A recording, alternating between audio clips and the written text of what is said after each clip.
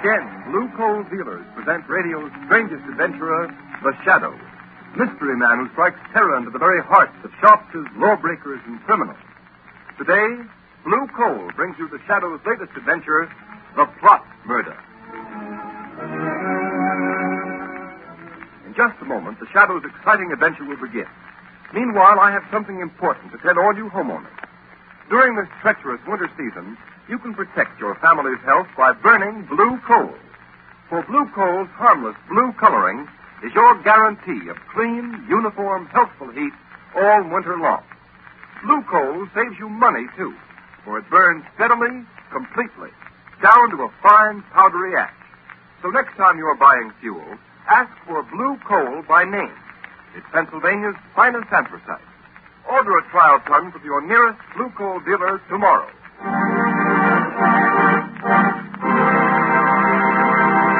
An important announcement. Just before going on the air with today's adventure of the Shadow, we received a telegram from the American Police Review, presenting the Shadow with a special award. Be sure to hear this official presentation at the close of this program. And now, Blue Coal presents The Shadow in the Plot Murder.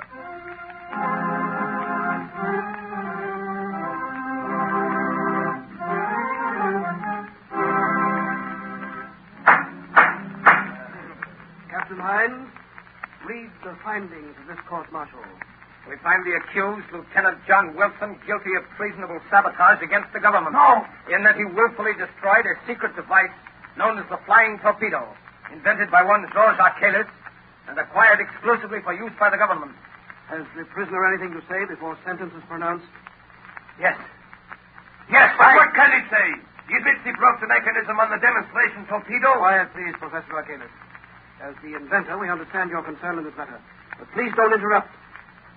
Well, Lieutenant Wilson, I, I, I, I don't know, sir. I, I can hear all that's going on, but I, I went into the. It's obvious, General Levitt, that Lieutenant Wilson is not mentally accountable. he was sufficiently accountable to enter the testing shed by virtue of his authority as an Army lieutenant and to tamper with the flying torpedo and render it useless the very day it was to be demonstrated to the government. Read the sentence of the court. Lieutenant Wilson, this court decides, subject to the approval of the President, that you will be dishonorably discharged from the service of your country and sentenced to imprisonment for the term of... No! God, he's got a revolver! Don't shoot! That's the man, Professor Arcalis! He's wounded, Professor Arcalis! All the doctor, take Lieutenant Wilson back to his cell.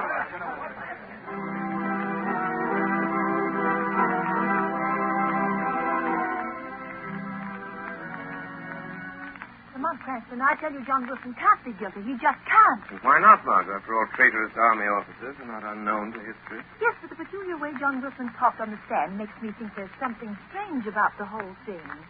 He acted, well, almost like a man in a trance. Lamont, just what is this flying torpedo he's supposed to have tampered with? That's what its name implies, a sort of aerial torpedo filled with high explosive flying under its own power. Once it's launched into the air, instead of flying a predetermined course, its direction can be guided by radio beams from an observation plane flying high above it. Ah, I see. Imagine its tremendous effectiveness in warfare, deadly accuracy in hitting even a fast-moving target like a, a troop train or a supply ship. Sounds tremendously important. Who invented it? This man Arcalis, who was to have demonstrated last week at the proving grounds before a large delegation from the capital. Besides being members of the War Department, a great many high officials and other branches of the government were to attend the test. Well, Since your friend Wilson gained access to the laboratory and put the flying torpedo out of commission, the test has been postponed until tomorrow. and who is Arcalis? Where did he come from? He's famous foreign inventor. He's quite a reputation abroad. Lamont, you don't suppose it's possible Arcalis has the boy under some strong mental influence? Possible. They've got Wilson temporarily in the city jail. Won't you call on him as the shadow? Margot, do you honestly think that this case warrants my attention, as the shadow? Lamont, I don't ask many favors, but I have the feeling John Wilson is innocent. All right, Margot. You're really serious. The shadow will pay a call on John Wilson in the city jail.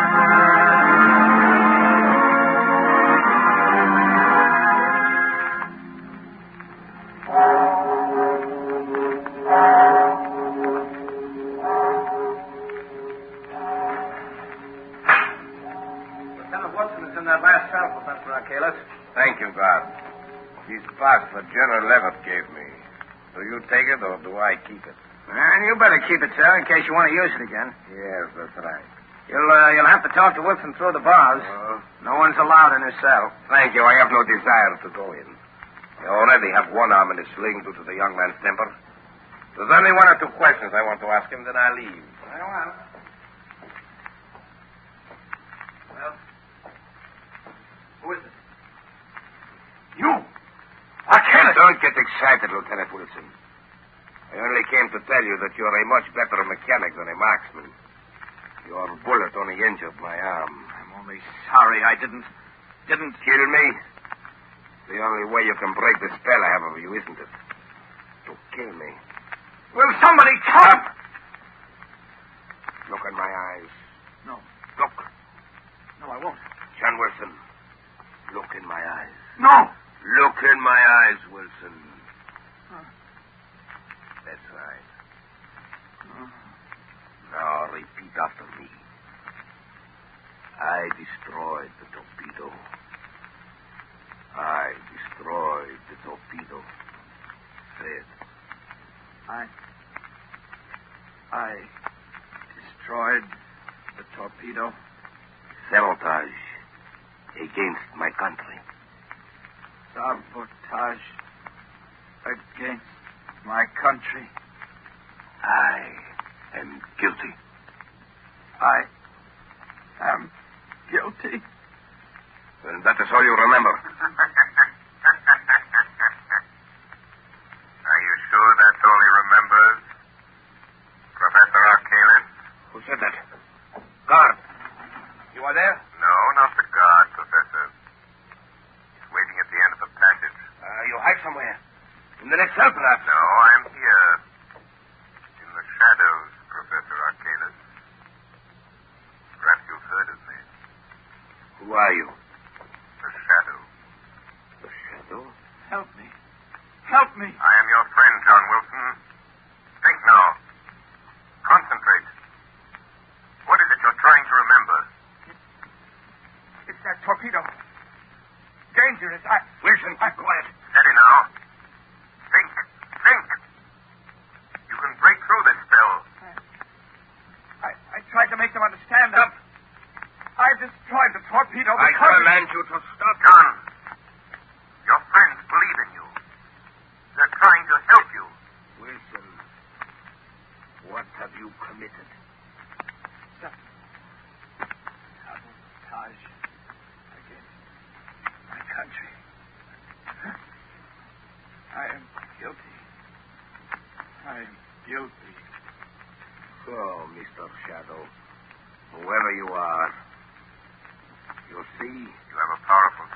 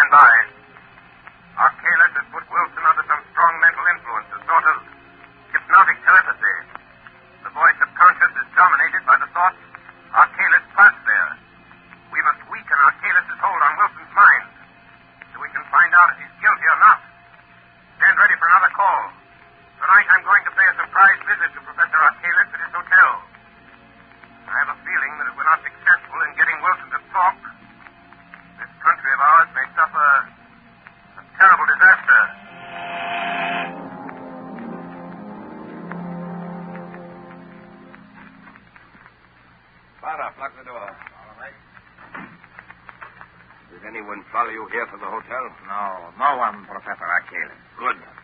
The test will take place tomorrow? Yes, at three o'clock. The War Department is so convinced your invention will render any nation possessing it invincible that the high command of both the Army and Navy are to be there to witness the test. The president, too? Yes, the President and the Vice President expect to attend, together with the Secretary of War and the Secretary of the Navy. Oh, they've fallen into my trap. They'll be blown off the face of the earth just as I planned. Barloff, be sure you make a final inspection before the torpedo is taken out of the grounds. And see that the steering mechanism is set. I understand. But since I am your chief assistant, they might ask me to go along with them. No, they won't fixed that. Their bungling army mechanics think they understand the flying torpedo perfectly. So to satisfy their pride, I've let them take complete charge of the demonstration. Good. Don't worry, Barloff. And afterwards? Afterwards, with the guiding brains of the nation wiped out at a single stroke, the country will be thrown into confusion, disorganized. So we'll have nothing to fear. I see. There are only two things that bother me slightly, though. Lieutenant Wilson, for one. Wilson, did he really discover the secret trick of the steering mechanism? Yes, he knows what we intend to do and how we intend to do it. You should have disposed of him at once. I thought of that. I was afraid it would arouse suspicion. I'm keeping Wilson under mental hypnotic control until it's too late for him to stop us. Wouldn't it be better if he was dead? Perhaps. I can still visit him at the prison. And what is the other thing that bothers you, Professor? Only a shadow, Barloff. But I'm not quite sure of the extent of its power. A shadow? Don't worry. I think I can take care of it, too. Listen. What is it? I thought I heard footsteps outside in the hall. Go and look. There's no one here. All is empty. Uh, must be my nerves. I'll be glad when this is all over. Our escape is taken care of. Yes, the freighter will be waiting for us at South Pier. But go now, Carl. And success to you. Good night, Professor. Good night, Barloff.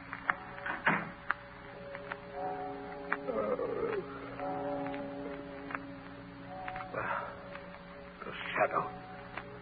If I can't put my willpower against the shadow, then I deserve to lose. And I've never yet. Good evening, Professor Arcalis. You. Shadow, you've come. Yes, Professor. Why do you hold Lieutenant Wilson in a hypnotic spell, Professor? I don't know what you're talking about. We shall see. And now I have something else to tell you. What? Wilson knows something about you, Professor. And I'm going to find out what it is. All right, Shadow. You know a little, but you'll never learn more from Wilson. No one can break the spell, not you, nor all your childish magic. You forget. Greater magic, Arcalis. What? Death. Death? Yes, it's on the way, Professor.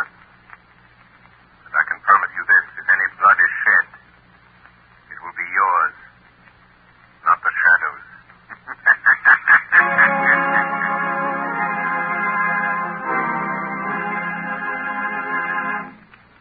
The second part of the Shadow's adventure will continue in just a moment. Meanwhile, here's some interesting information. Every day, more and more families throughout this area are saving money on their heating and cooking bills. These families are getting better and more economical heat than ever before with blue coal. Blue coal is anthracite. It is an American product mined by the Glen Alden Coal Company, who are deeply grateful for the purchases of blue coal by families throughout this area. Today, Blue Coal is the largest selling brand of home fuel in America because it is the only fuel that so satisfactorily combines all of the essentials necessary for perfect heating results. It is superior in quality, cleaner than most fuels, and economical because it burns long and steadily down to a fine powdery ash. Furthermore, there can be no substitution when ordering blue coal because it is the only solid fuel actually trademarked with a blue tint so that you can identify it at a glance. These are a few reasons why in Watertown, New York, blue coal sales this winter show a 29% increase over the same period a year ago. So take a tip from Watertown, New York family. Order blue coal by name. You will find the name of your nearest blue coal dealer listed in the Where to Buy It section of your classified telephone directory under the name Blue Coal.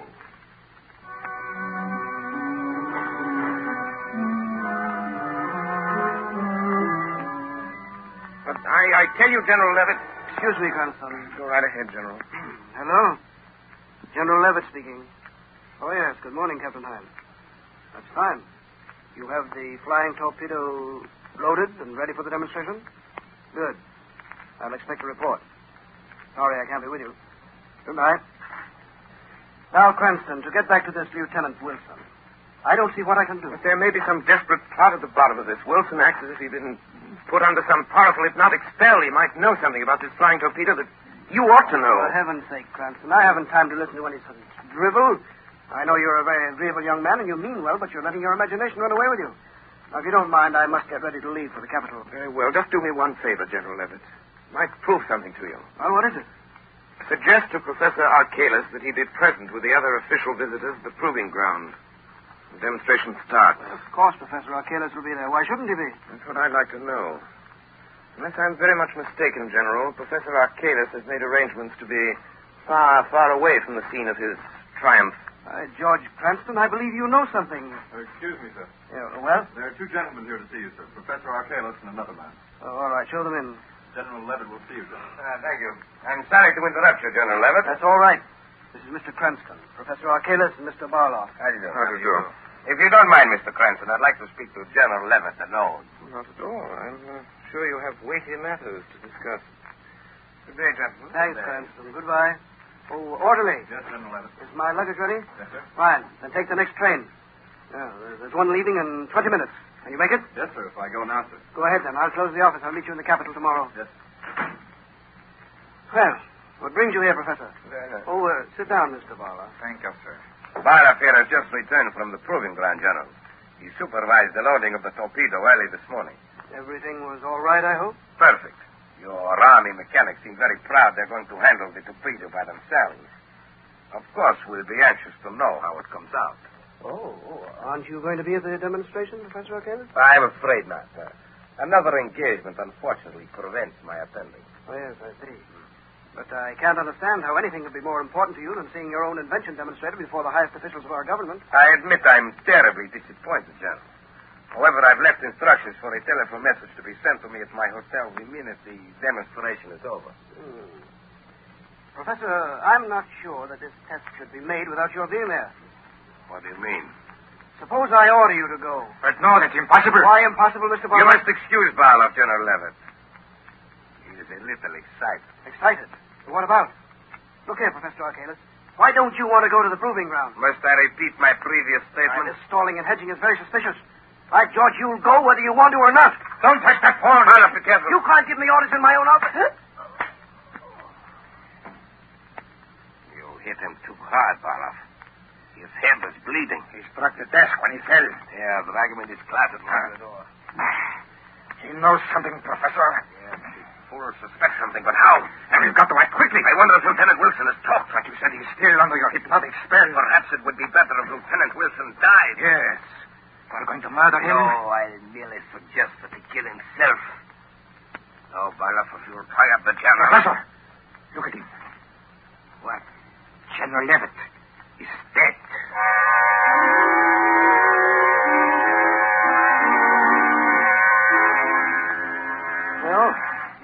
Levitt's office, Margot. Oh, no one seems to be here, Lamont. Oh, that's odd. General was here less than an hour ago. General! General Levitt. Look, here on the corner of the desk. Blood. Word to Commissioner Weston at once. Tell him something has happened to General Levitt. Yes, anything else? Yes, tell him to send a squad of men to South Pier. I overheard Professor Arcalis and Barloff talking about meeting on a freighter there. Where are you going? I'm going to the jail. I'm going to make one more desperate attempt to get John Wilson to talk. Got to find out what this is all about before it's too late.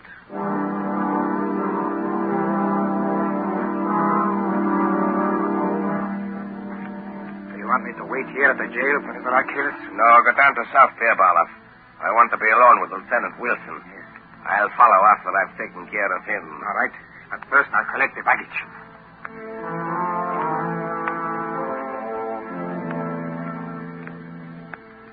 You remember only this, Lieutenant Wilson. See always my eyes in front of you. Yes. You will forever do what I tell you to. Stop. Leave me alone. No, never. Look, Wilson. See what I have? A knife. Here. Take it. Now listen to me. You are disgraced. Your family disgraced. You have nothing more to live for. Say it.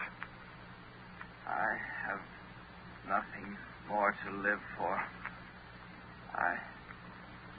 I have nothing More to live for. Then draw the knife across your wrists. It's easy. Try it. Stop, John. Don't do it. Shadow! He's trying to make me. Keep away from me, Wilson. I've got you Let by the arm, Wilson. Arcalis. Did you feel the knife yourself? Yes, you've cut me, you fool. Ah. Your blood is being shed, Professor. Remember what I told you? Let me out of here. Let me out. He's gone, John. Something, something's happened to me. I, I feel like I can talk now. Then talk. Tell me what you know. Arcalis' spell is weakened. I can't see you, and I don't know who you are, but you've got to help me. I first suspected Arcalis and his crowd when, when I saw that the steering mechanism of the flying torpedo had an extra attachment. Extra attachment. Yes, you see, the flying torpedo is supposed to be steered by radio beams from an accompanying plane. But this extra attachment I'm talking about would, would render the radio beams ineffective. In other words, the rudder is set so the torpedo will fly in a complete circle and come back and strike the point from which it was sent, like a boomerang. If it does that in the demonstrations of today, it will wipe out all the important government officials. Yes, that's their plan. Just as I made the discovery, Arcalis came in, into the workshop. I accused him, and he put me under this spell. I, I tried to talk, but I couldn't. Never mind that.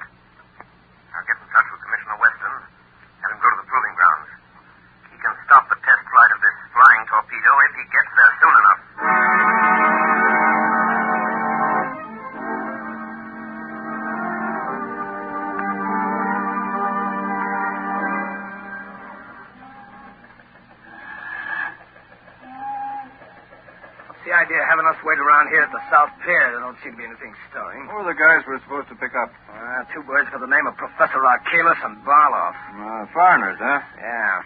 What are they going to do? Make a getaway? I don't know. Commissioner Weston just said to make sure we got them, that's all. Uh, if it had been that important, don't you think the commissioner would have come down here himself? Well, he was coming, but he got a last-minute call to go over the place where they're trying out that new flying torpedo. Oh, yeah, I read about that. All these inventions. Now, wait a minute. Somebody coming down the dock. Hey, you. Hey, stop where you are, I'll shoot. Ah, what's this all about? Nothing. Where are you going? That is my business. What's your name? Come on, what's your name? Are you Barloff? What is it to you? Answer me, are you Barloff? Yes. Well, that's all we wanted to know. Uh, come on. Come on. What are you taking? I ain't done nothing. He's got a gun, Sergeant. What? I'm sorry, Sergeant. I had to do it. That's okay. This Arcalis will probably be along in a minute. This boy behind those bushes. We don't want Arcalis. Yeah, hey, look out. Here comes another guy down the dock. All right, quick. Right. Behind this piling here. Come on. must be our Arcalis. Yeah, I guess. Professor Arcalis, Who are you? the police. We want to ask you what. Well, you can't get me to talk. You'll never make Look me out, do look out, Sergeant. He's got a gun. Drop that gun, You can't take me. The police can't touch me. You asked for it. Oh, you nailed him, Sergeant. He get you? Oh, I'm okay. Uh, here comes the parole.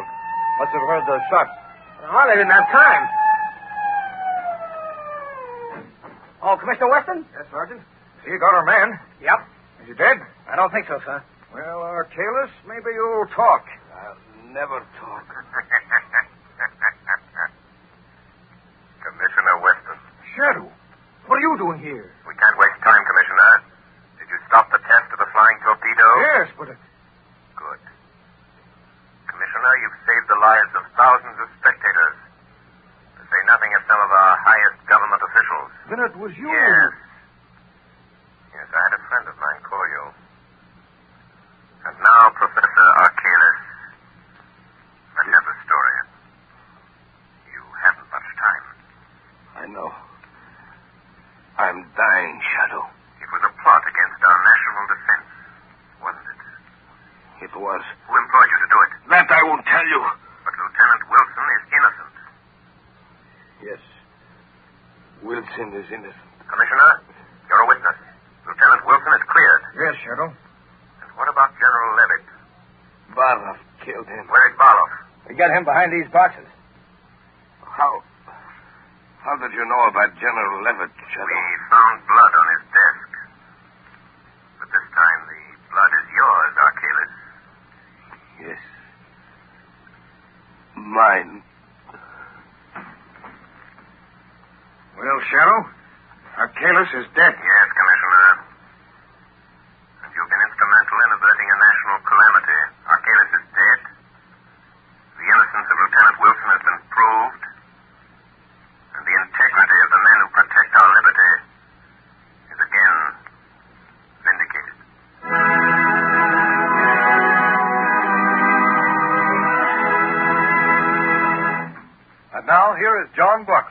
Coal's heating expert, with helpful heating hints for you. Thank you, Ken Roberts. Good evening, friends. I've received numerous letters from homeowners asking what they can do to prevent chimney loss, wasted heat that goes up the chimney instead of through the pipes of your heating system. It's really a simple matter to prevent this, and you will save money on your fuel bills, too. The next time you refuel the fire, move the handle of the turn damper, that plate-like damper inside the smoke pipe, one sixteenth of an inch toward the closed upright position.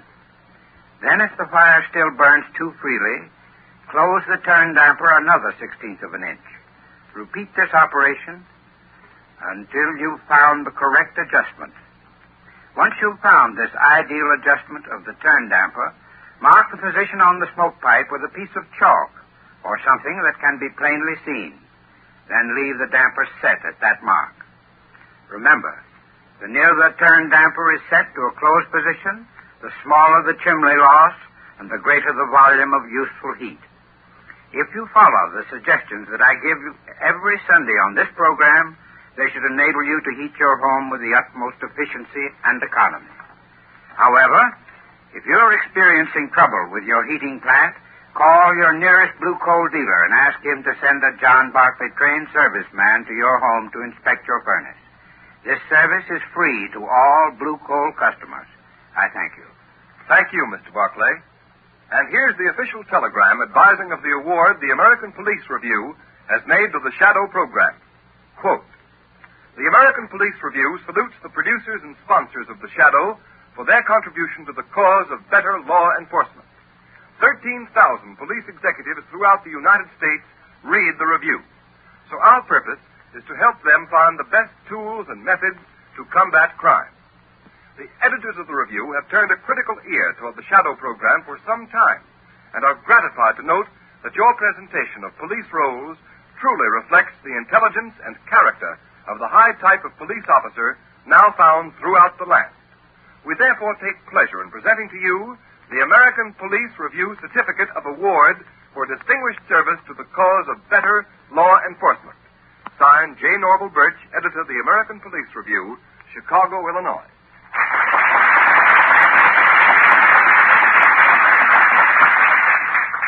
And so, on behalf of Blue Coal dealers and of all those who assist in the weekly programs of The Shadow, we tender our thanks and appreciation to editor J. Norval Birch and the American Police Review for their splendid testimonial.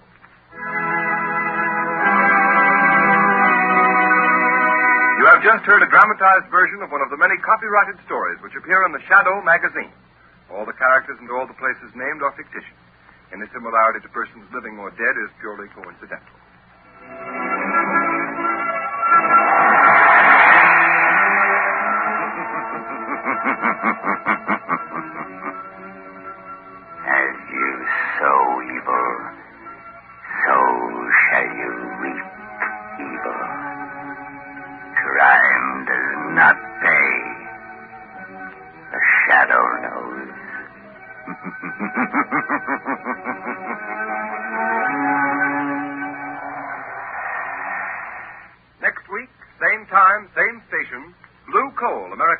Anthracite, will again present another thrilling adventure of the Shadow.